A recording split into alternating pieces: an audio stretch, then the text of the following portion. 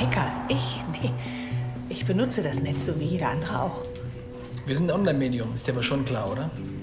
Ja, was aber über die wirkliche Welt berichtet. Dachte ich, jedenfalls. Du unterscheidest zwischen Web und wirklicher Welt?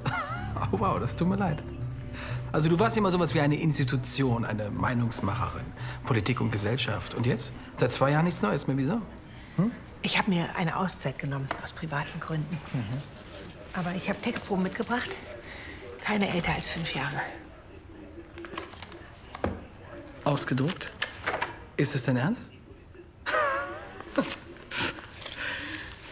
Das ist deine siebte Bewerbung. Der Daily ist nicht deine erste Wahl. Toni, schau dir das an. Flash-Feed, 500.000 Viewer. Wer macht denn sowas? Das ist ein Spaß, oder was?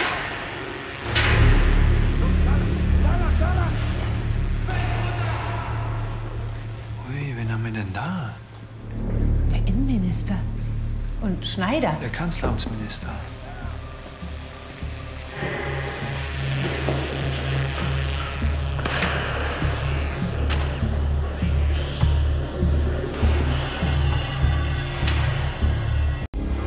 ARD Plus. Wiedersehen macht Freude.